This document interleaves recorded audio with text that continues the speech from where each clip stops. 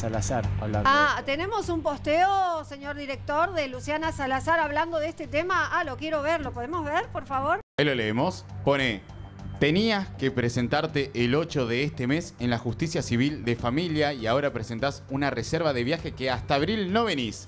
Esto es una broma, no se puede creer. Justo hoy se cumplen dos años que no cumplís con la cuota alimentaria.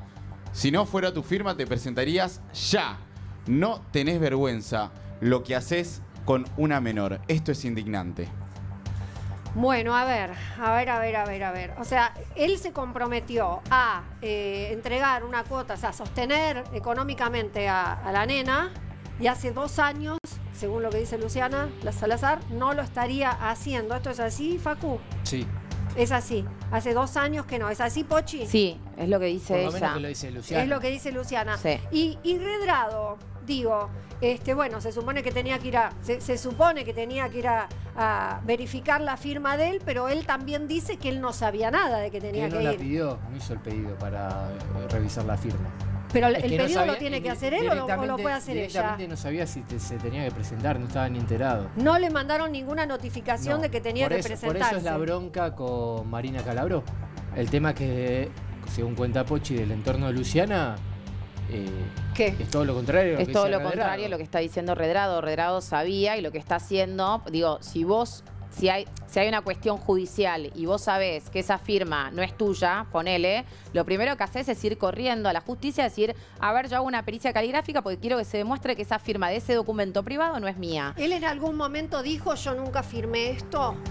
Eh, claramente, eh, si vos firmás algo, te estás haciendo cargo de esa situación. No, Ahora él- sí, él no, pero lo que te dijo- quiero decir, que él lo diga no doy fe. Lo que digo es, si vos firmaste un documento donde te comprometés a algo y después no lo cumplís durante dos años, Pero, Pochi, yo lo que te digo, capaz él no lo firmó nunca eso. pero es que ¿Entendés si no, pero es que Luciana presentó esos documentos en la justicia. Ah, los- Parte de por qué están pidiendo la pericia caligráfica es para demostrar que efectivamente esa Mm, firma es firmó. de él, lo firmó y él se había comprometido a, a eso. Entonces digo, si realmente vos decís esa firma no es mía, lo primero que haces es ir corriendo a la justicia y decir, mira, te voy a mostrar, hagamos la pericia y te vas a dar cuenta que esa firma no es mía. Yo no tengo ningún tipo de compromiso, no me comprometí a nada y no hay, no me puedo hacer responsable de algo que yo no firmé. Sí. Él no lo estaría haciendo. A mí este tema, saben que me detengo bastante más allá de Luciana Salazar y Redrado, porque se me cruza que hay tantas familias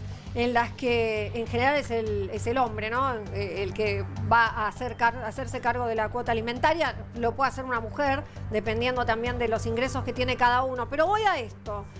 ¿Por qué me detengo también en este tema? Porque no es que de pronto, en este caso el padre, vamos a hablar de un padre, que no eh, aporta la cuota alimentaria, no es que aparece en el veraz e inclusive no puede salir del país o, o aparece, eh, digo, yo me quedé como con este dato, me parece tan raro porque sé que hay casos donde si en ese caso el padre, que fuera el que le corresponde poner la, la cuota alimentaria, no lo hace, aparece en el veraz, le trae un montón de complicaciones. Eh, y acá aparentemente no trae ninguna complicación Pasa porque que- Redrado viaja, hace negocios. Es diferente. compra y vende, o sea, Es, digo, yo no es- los es- conozco, es pero mucho más delicado el tema porque eh, Redrado, y esto lo dijo Luciana, no es que lo estoy inventando yo, no sería por cuestiones personales, que es solo ellos dos la saben, el padre biológico de Matilda. Bueno, Por sí. situaciones personales íntimas que yo obviamente no me voy a poner a contar, pues no me corresponde. En, en el medio que ellos eh, empiezan con todo el proceso, van a ver muchas clínicas para, para buscar a, a Matilda, eh, ellos arrancan con todo el proceso y cuando ya está avanzado en el medio, ellos dos se separan. Por esa razón después Matilda no lleva el apellido de él y por otras cuestiones más que tampoco vienen al caso.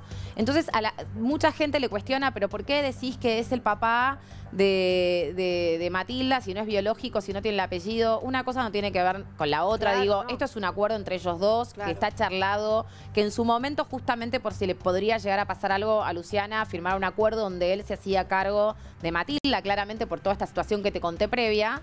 Entonces, digo, nosotras conocemos muchos casos de hombres que sabés que es el papá porque tenés el ADN eh, genéticamente, sabés porque tiene el apellido y no se hacen cargo, ¿entendés? Claro, pero por eso digo, no era que en, un momento, me acuerdo que se tocó mucho el tema públicamente, no de Redrado y Luciana César, sino de tantísimos casos que hay donde no se cumple este deber de la cuota alimentaria y sé que trae un montón de inhibiciones y problemas. Tal vez no existe Es más. que no lo puede- es que no, no, nada, no, pasa no. más nada, alguien no, no aporta la cuota alimentaria y no No, pasa sí nada. pasa. No, sí pasa, pero en este caso. Es lo que te estamos no explicando. es el papá. claro, no, no, no es No, no, pero biológica. más allá, no importa, no importa que no sea el padre. Y no si tiene el hay- apellido. Bueno, Por eso pero- ella tiene que demostrar, con ese acuerdo, tiene que demostrar que efectivamente él se había comprometido a una serie de cuestiones.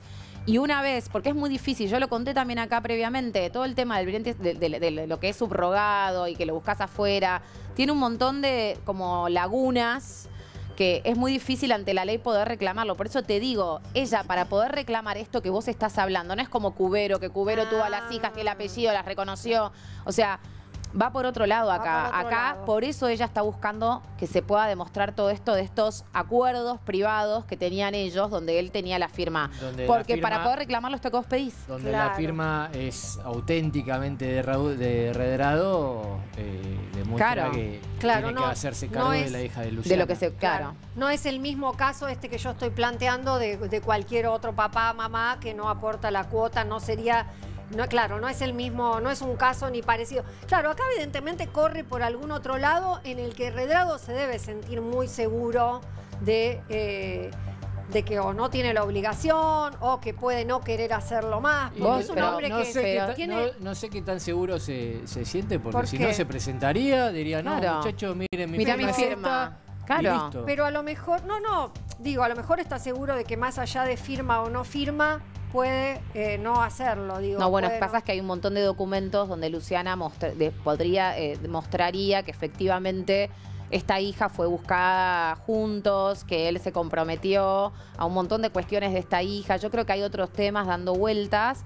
Y la realidad es que Luciana, por ejemplo, el otro día mostró que cuando ellos estaban separados y Matilda ya era un poquito más grande, él la iba a visitar un montón de veces al barrio. Digo, si ella no es tu hija, si vos no tenés ningún vínculo, si no un montón de cosas, ¿por qué él en, se- en secreto iba a visitar a Matilda? Si, si no tenían vínculo, no era el padre, no tenía el apellido, digo, me parece que es bastante violento, primero ya públicamente tener que estar hablando de esto.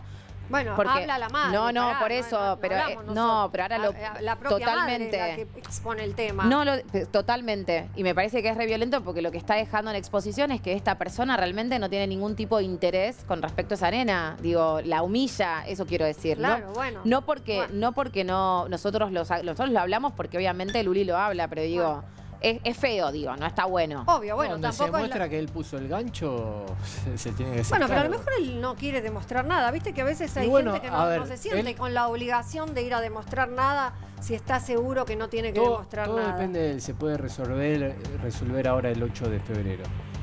Porque Pero a lo si él mejor tiene él no un viaje planeado, él tranquilamente lo puede posponer. Él ya o está de viaje. Él ya está de viaje. Él no está acá, no estaría acá en la Argentina. Y él tiene una esposa, tiene una familia, también hay que ver lo que le dirá la, la- la pareja de él, le dirá basta con esto. Digo yo, no sé, no la conozco a la Sanguinetti Lulu, pero. Yo tampoco la digo, conozco. Le dirá basta con esto, eh, supongo, ¿no? Y bueno, si quiere terminar con el tema, se presenta, Totalmente. comprueba que la firma no es de él y tema solucionado. Por eso si yo- no se quiere presentar, me parece que porque Por algo es.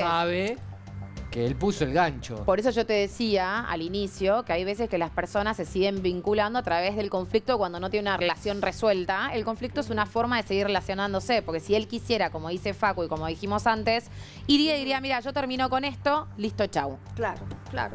Bueno, ¿qué tal, Don Queto? ¿Qué problema que estamos teniendo, eh? Sí. Increíble. Che, les paramos, no, sin saberlo, les paramos Increíble. los dos al pobre Redrado.